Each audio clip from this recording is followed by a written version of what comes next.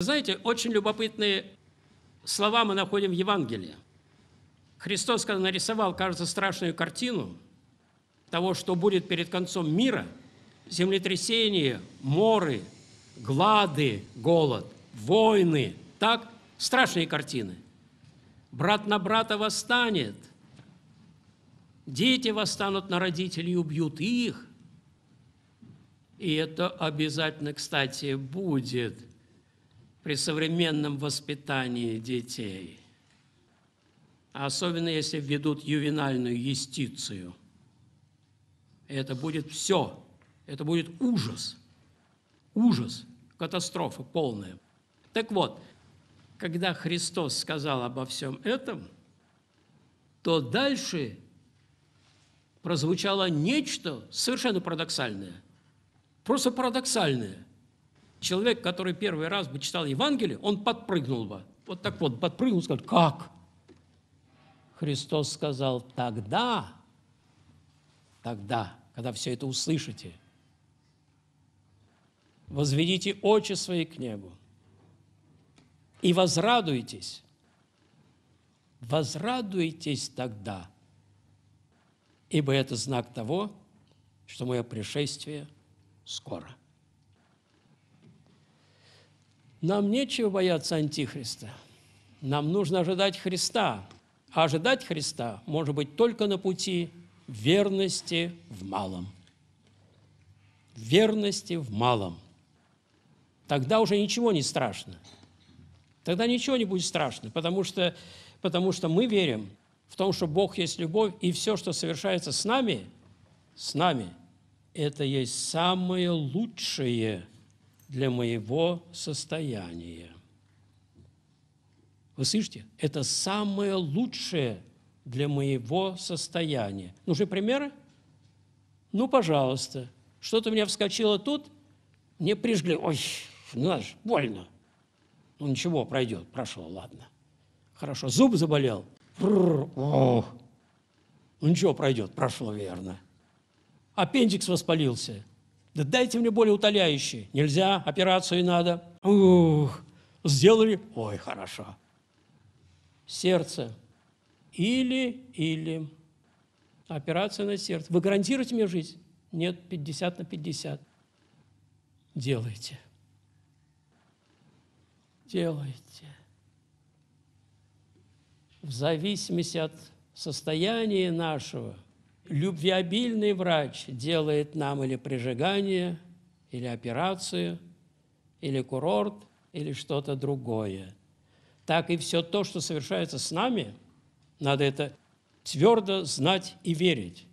Это есть самое лучшее и самое меньшее, что устраивается для нас, исходя из нашего состояния. Я вам приведу, хотите, приведу пример один исторический – ну, это примеры всегда интересны, правда же? Византия, цветущая империя. Ну и там, как и в каждой любой империи, подчас бывали трагические истории какого рода? Переворот. И вот один из переворотов военных. Власть захватывает главнокомандующий. Жестокий человек. Именно жестокий. Это было, это было в шестом веке. Он так расправляется со всеми врагами, так жестоко расправился с императорской семьей, ну, представьте себе, себе на глазах отца императора, раздетых до гола пять сыновей его, копьями загоняют в костер. Один монах святой жизни, у которого просто сердце разорвалось от этих слухов, взмолился Богу. Всю ночь молился, Господи, за что нам такое? Наш же православный народ, православный народ, православная империя, православный царь-помазанник. О, вот вам, пожалуйста. Так? Все православно. За что, Господи, Ты послал нам такого изверга? Всю ночь молился. Вот сила, попробуйте всю ночь помолиться.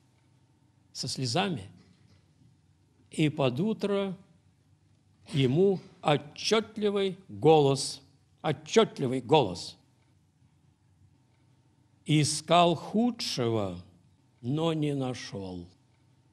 Состояние вас, православных, такое, что я искал худшего, но я прибавлю от себя, пока не нашел.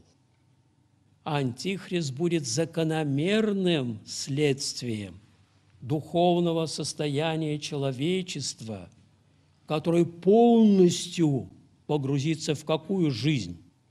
Похоть плоти, похоть очей и гордость житейскую. Как о чем сказал Ава Дорофей преподобный, что это три этих дьявола, на которых строится мирская жизнь. Сластолюбие, сребролюбие, славолюбие. В жутком духовном состоянии находится человечество, соответствующее и, если хотите, соответствующая реакция на это состояние.